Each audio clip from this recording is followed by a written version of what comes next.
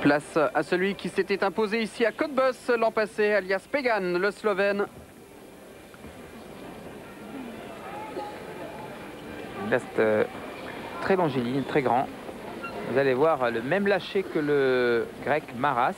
Double salto avant avec demi-tour, avec un peu plus d'amplitude. Il s'était déjà imposé ici en 2001. Catcher tendu, catcher écart. Ginger.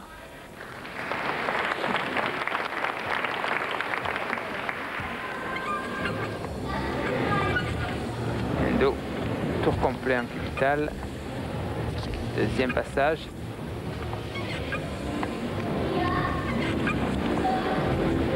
Eh bien, il a changé sa combinaison. Vegan, il a fait plus son lâcher.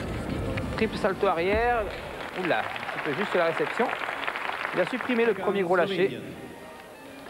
Pegan qui obtient 9,612. Il reste